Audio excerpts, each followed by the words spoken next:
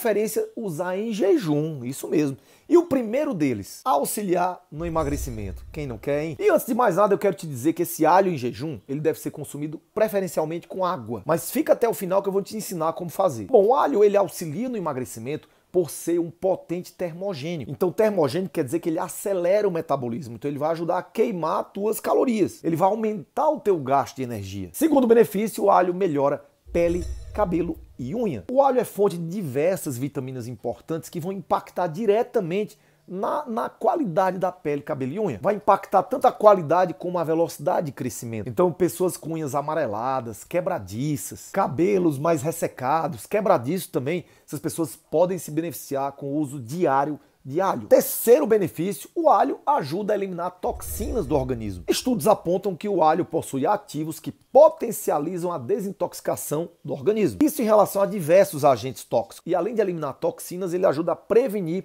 o acúmulo de outras toxinas. Quarto benefício, o alho ajuda na eliminação de parasitas intestinais, ou seja, lombriga, verme. O alho possui um composto sulfurado chamado alicina tudo do alho é salicina, que garante uma ação antimicrobiana, antiviral e antifúngica. E dentre esses superpoderes, ele ajuda a eliminar bactérias ruins do intestino. Então facilita com que o seu intestino elimine mais facilmente lombriga, verme. Vai ser só isso? Não, mas pode ajudar. O alho ajuda a melhorar a flora intestinal. Quinto benefício é o que todo mundo está precisando agora. Claro, além do emagrecimento. Claro, além de dinheiro.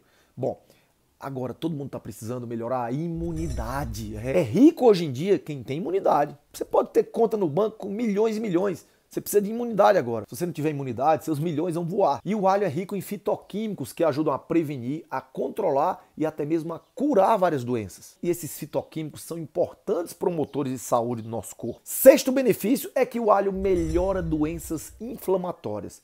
Praticamente todas as doenças têm um componente inflamatório. E os compostos sulfúricos do alho melhoram isso também. Eles têm ação anti-inflamatória. Eles melhoram a resposta do organismo a agentes externos. Eles controlam essa resposta para que você não ataque suas próprias células também. Muitas pessoas adoecem devido a um problema chamado inflamação crônica todo o tempo inflamado. Sétimo benefício, o alho ajuda no controle da pressão arterial. E esse talvez seja um dos maiores benefícios do alho eu vejo alho, quando penso em alho, eu penso sempre em regular pressão e antibiótico. Mas foi a doutora Pamela Mason que mostrou que o alho pode reduzir os níveis de pressão em até 10% dos casos. Isso porque o alho possui um efeito antihipertensivo, é antipressão alta, por causa da liberação de quê? Alicina. Agora olha só, existem contraindicações. É uma comida? É um alimento? É. Mas se você exagerar e se usar inclusive todo dia, você pode se complicar se você tiver alguns fatores de risco. Então, tanto a ingestão do alho natural como a cápsula existem contraindicações. Então, se você se encaixa em algum desses grupos que eu vou falar aqui agora, antes de consumir o alho, converse com seu médico, com seu nutricionista, para não ter complicação. Ou seja, pessoas com problemas na coagulação do sangue, tem um sangue muito fino, pessoas que têm sangramento gengival, sangramentos uterinos, a menstruação muito forte, muito intensa, ou então menstruam várias vezes por, por mês, ou então tem sangramento é, através de vômito ou diarreia. Essas pessoas não devem usar o alho. O alho afina mais o sangue e aí você pode ter problemas de sangramento.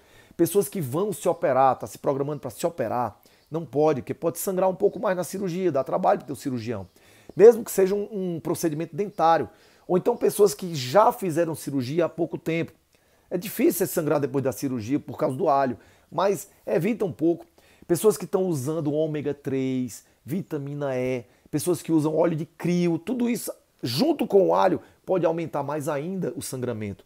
É porque esses, todos esses produtos fluidificam mais o sangue, mas aí pode fluidificar demais. Pessoas que usam anticoagulante, pessoas que usam ginkgo biloba, castanha da Índia, todos esses remédios que podem afinar o sangue, devem ter cuidado com alho. Assim como pessoas que tiveram trombose, que usam marevan, que usam xarelto, usam remédios que mexem na coagulação, como pessoas que têm arritmia cardíaca ou doença cardíaca, também usam remédios para afinar o sangue. Já pessoas que têm pressão alta, que usam remédios para baixar a pressão, também tem que conversar com o cardiologista, porque o alho, junto do remédio para pressão, pode baixar demais.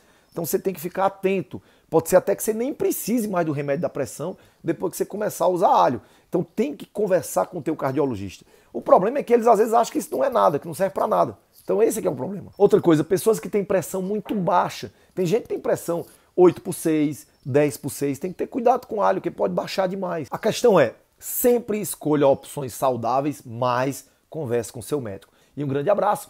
Viva com saúde, viva com paixão, com Deus no coração. Tchau, gente.